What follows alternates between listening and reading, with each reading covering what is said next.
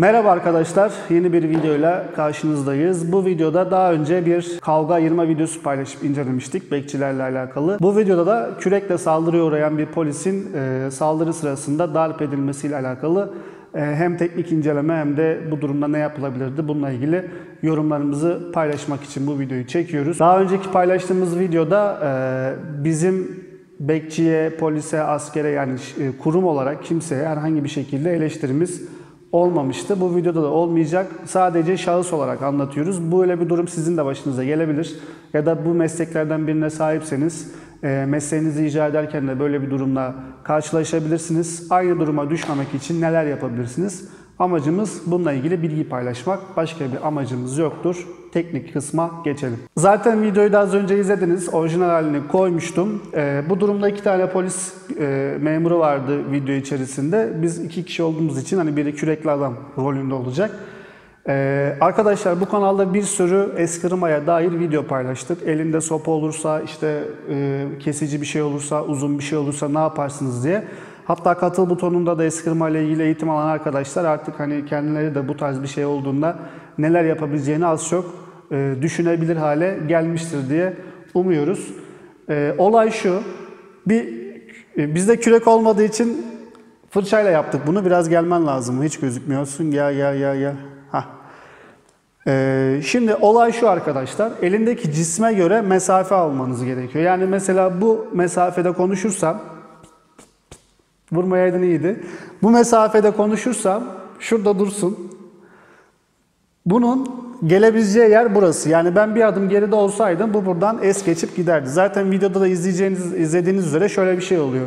Ee, kaldırıp üzerine gelirken polis memuru da geri geri kaçtığı için kafasına doğru oturuyor. Bu tarz bir durumda geriye kaçmak yerine çünkü rakip de sizin üzerinize gelecektir eğer vurma amacı varsa.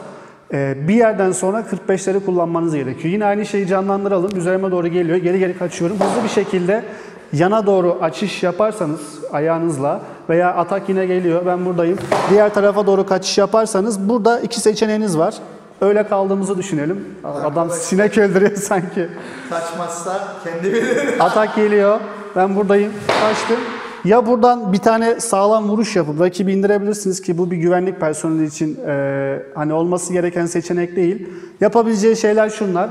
Atak geldiğinde kaçtıktan sonra hızlı bir şekilde içeriye girip hemen onu kontrol altına alabilir. Burada hala elinde cisim olduğu için sizi tehdit edecektir. Burada daha önce gösterdiğimiz kilit videolarını yapabilirsiniz. Hani çok fazla da olayı burada tekniğe boğmak da istemiyoruz. Olay şu arkadaşlar. Eee Karşı tarafta daha kısa bir cisim olsaydı, bunu da bir bekçi videosu vardı, ona ithafen olsun. Bir tarafta sopa var, ee, bekçi de silahını çekip e, karşı tarafı vuruyor. Yani saldıran adam zaten suçlu ama hani onu silahla vuran kişinin de e, suçsuz olduğunu savunmuyorum. Onun da e, değerlendirdiğimiz çerçevede suçlu olduğunu düşünüyorum. Olay çünkü şöyle cereyan ediyor. E, bir tane bekçi vuruyor, Karşı tarafta sopasıyla üzerine gelirken çekip bacağından bir tane ateş edip etkisiz hale getiriyor. Bununla ilgili de bir sürü video paylaştık arkadaşlar. Yani eğer sizde bir şey yoksa ki e, güvenlik personeliyseniz sizin de jopunuz vesaireniz her zaman yanınızdadır muhtemelen. E, bir sopa gördüğünüzde hemen elinize jopunuzu alıp daha e, güvenli bir müdahalede bulunabilirsiniz. Atak geldiğinde herhangi bir atak direkt içeriye doğru giriş yapıp buradan vuruş da yapabilirsiniz ya da buradan kilide de alıp rakibi kontrol etme şansınız var. Tersten de gelebilirdi. Bu sefer de buradan hızlı bir şekilde rakibin e, kontrolünü kendi elinize alabilirsiniz. Bunlarla ilgili zaten çok detaylı videolar paylaşıyoruz. Yani şuradan gelirse ne olur, buradan gelirse ne olur. Bunların da gerçek hayatta yaşandığını zaten bu tarz olaylarla görmüş oluyorsunuz. Savunma kısmında eksiklik olduğu için insanlar ee, hani bu tarz cisimler tarafından kolaylıkla darp edilebiliyor. Bu kürekli videoda şöyle bir eleştiri gelebilir. Saldıran kişinin akli dengesinin yerinde olmadığı vesaire söyleniyor. Doğru olabilir. Ama bu yine e, hani akli dengesi yerinde değil diyor. Küreği kafama yiyeceğim diye bir koşul da yok. Veya çekip silahımla vuracağım diye bir koşul da yok. Kendini savunmayı bilen bir kişi e, onu da kontrol edebilir. Sonuç itibariyle saldırgan hani saldırgandır yani kimlik olarak size saldıran kişidir. O kişinin suçlu olup olmaması ya da e, daha önce hiç kimseye saldırıp saldırmaması o anki durum için çok önemli değil. Çünkü orada e, kişi yani kürek yan bir şekilde gelseydi e, hani oradaki memurun kafasını parçalayabilirdi. Düz bir şekilde geldiği için muhtemelen daha kolay bir şekilde atlattı, tedavi oluyor vesaire ama daha büyük sıkıntılar da olabilirdi.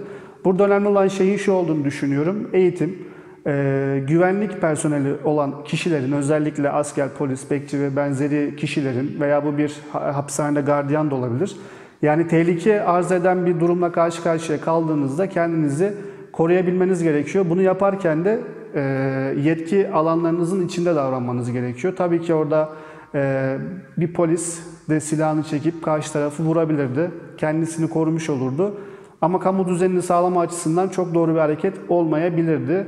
E, çünkü ortada kalmak daha iyi. Geçenlerde yine o videoyu da paylaşayım. Amerika'da bir polis işte bir suçluyu e, yere alıyor, boynuna diziyle çöküyor. Biz bunu derslerde gösteriyoruz. Bu bir kontrol tekniği. Normalde kurtulma şansı yok. Ee, orada kelepçeleme işleminden sonra normalde alıp işte gerekli yere götürmesi gerekirken e, baskı yapmaya devam ediyor. Kişi boğuluyor. Daha sonra da hayatını kaybediyor. Burada da e, polisin teknik bilip kişiyi kontrol altına aldığını görüyoruz ama ucunu kaçırdığı için adamı bilerek ya da bilmeyerek herhangi bir sebeple öldürüyor. Ee, Bizim burada da işte darp edilen polisleri vesaire görüyoruz. Bunun arasının olması için de kişilerin doğru tekniği bilmesi lazım. Ee, Ve bununla ilgili eğer e, yeterli hissetmiyorsa kendinde özel kurumlara gidip işte bununla ilgili dersler, eğitimler alabilir. Bizim bir sürü bu tarz işte polis, asker, bekçi öğrencimiz var. Ee, hatta kendi düzeyimizde antrenman partnerimiz olan polis öğrenciler veya işte hocalar da var, eğitmenler de var.